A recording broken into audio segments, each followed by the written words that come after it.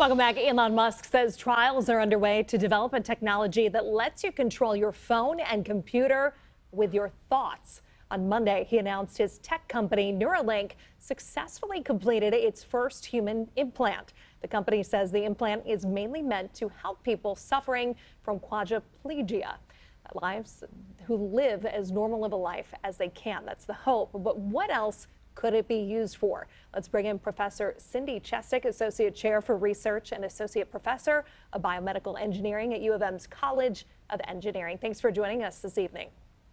Thanks for having me. So firstly, Professor Chestek, I want to ask you, can you tell us your experience with neural technology? Most of us don't even think about this. Yeah, so um, I, I work in a field called brain machine interfaces.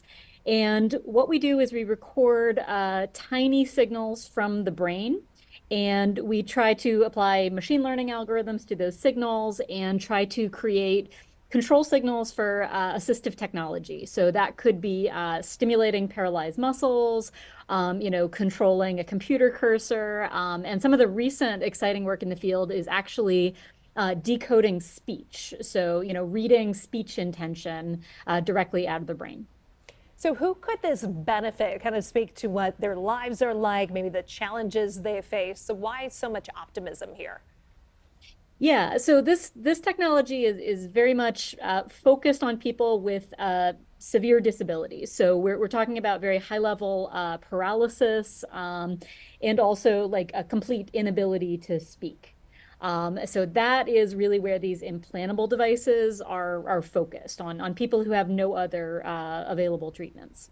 Can you give us a quick explainer on what exactly this implant is meant to do?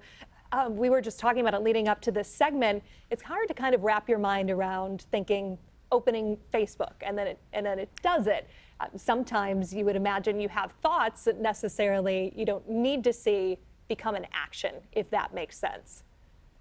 Yeah, so I, I actually don't think it's that close to to reading Facebook um, at this point. So what we're, I think what we're we're hoping to see from this is, you know, um, actually useful signals, right? So the very cool thing about the Neuralink implant is it's it's very high channel count. So it's it's a thousand channels. That is much more than um, has ever been used for uh, brain machine interfaces. It's a fully implantable system, so there's no you know computer carts of equipment uh, making this work. Um, but I think we're still waiting to see whether it can replicate things that we've already seen uh, in the literature. So like recent exciting results um, is uh, 70 words per minute, which is pretty good. Um, but you know, we're, we're still waiting to see if that happens. This is the very, very first time they've done this uh, in a person. What does it take to get a device like this approved for human trials? Yeah, it is a very long process. And I know that uh, Neuralink has been engaged with the FDA for a long time.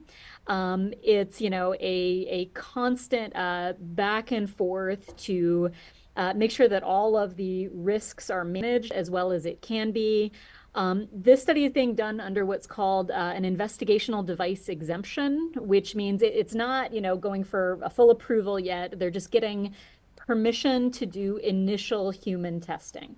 Um, and so, you know, this this person is, is a pioneer um, and has, you know, volunteered to do a study um, that, you know, may not have any benefit to them, but uh, could have benefit to people in the future.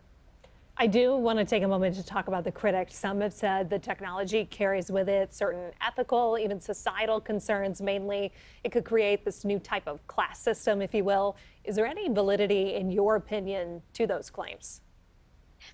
I mean, I think that the biggest concern with with systems like this is is safety, which you know I'm sure the, the FDA is very uh, appropriately managing. Um, and I think for the foreseeable future, this is um, just going to be used in people that have a really, uh, you know, severe uh, disability or, or need for this technology. Um, so, you know, we, we hear all these things about, you know, uh, brain implants for, for able-bodied people. That is not in the works. That is not going to happen anytime soon. Um, and so I think that, you know, for the foreseeable future, um, you know, something that requires a brain surgery is only going to be a treatment of uh, last resort.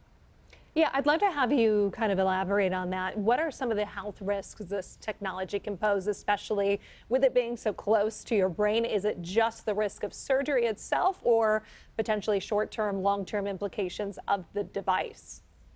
So every brain surgery has risks, um, and you know, so I'm sure that they have um, a, a consent process where they outline all of the risks associated with the surgery.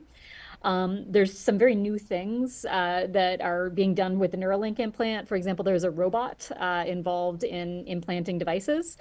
Um, on the other hand, they, they've also made the electrodes uh, extremely small. So this is this is one of the new electrodes that is uh, smaller than neurons themselves. Um, and so the the idea behind the robot is that it can uh, place these extremely small wires uh, between blood vessels. And so so they are hoping to uh, reduce the risk of the surgery. Um, but every brain surgery has risks, and um, I'm sure that was you know outlined to the study participant. Elon Musk, certainly an innovator, has been successful with many of his endeavors, uh, especially science based ones.